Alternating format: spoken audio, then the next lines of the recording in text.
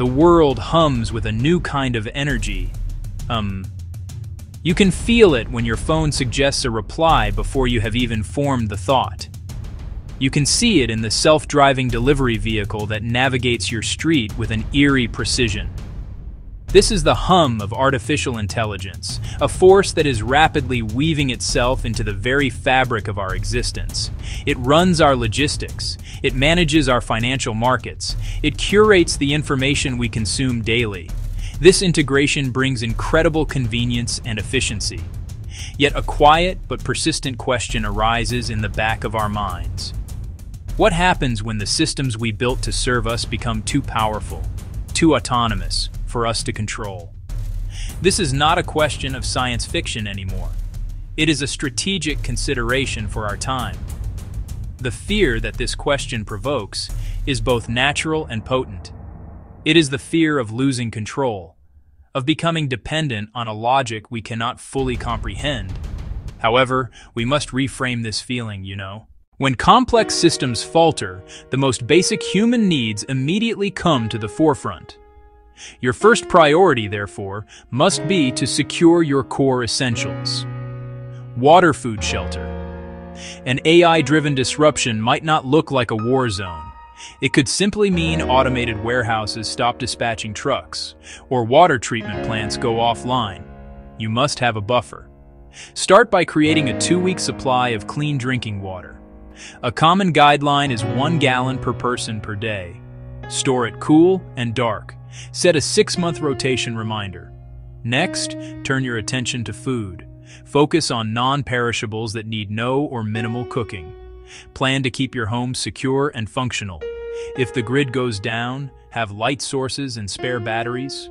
Warm layers, basic locks, and a simple shelter-in-place plan matter.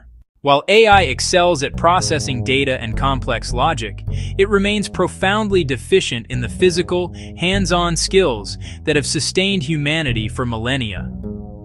This is where you can create immense personal value and security. Become proficient in abilities machines cannot easily replicate. Start with one simple, tangible skill. Learn basic first aid. Knowing how to clean a wound, apply a pressure bandage, perform CPR, can save a life when services are unavailable. Expand into self-sufficiency, grow small-scale food, herbs, lettuce, tomatoes, tiny harvests, big lessons. Basic repair skills become vital when replacement is not an option. Pick one area and learn. The goal is practical competence. Cultivate intuition, empathy, and improvisation. Practice problem solving with limited resources. Your brain is the original, resilient neural network. In an AI-driven crisis, global systems may be unreliable. The internet, long-distance communication, supply chains, fragile. Your most robust network will be local. Transform anonymous neighbors into a connected community. Start simply. Learn names next door and across the street. A friendly wave. A brief conversation. Propose a simple communication plan. Print and share with trusted households. Have a way to check on one another if digital comms fail. Choose a central spot to gather if needed. Map skills. Nurse, veterinarian, mechanics, tech repair, gardeners, tools. Foster awareness and reciprocity. Share knowledge, share resources. Breaking bread builds bonds for cooperation under stress. Your community is your safety net. Start weaving it now. The prospect of an AI takeover can feel overwhelming. It is easy to conclude no individual action can matter. Reject helplessness. Embrace small, deliberate steps. You do not need to do everything. You simply need to begin. Readiness is steady. Layers of security, one action at a time. Hope is not passive. It is forged through action. Practical moves you can do in minutes. Tangible control builds momentum. Here is a simple checklist to help you start.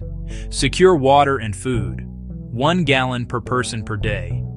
Keep physical copies of essential documents and some cash. Learn one skill, first aid or fire extinguisher basics. Build your web.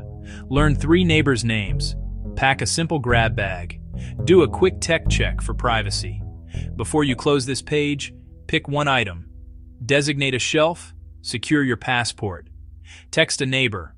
This single act is your declaration of agency, your first step away from fear toward preparedness.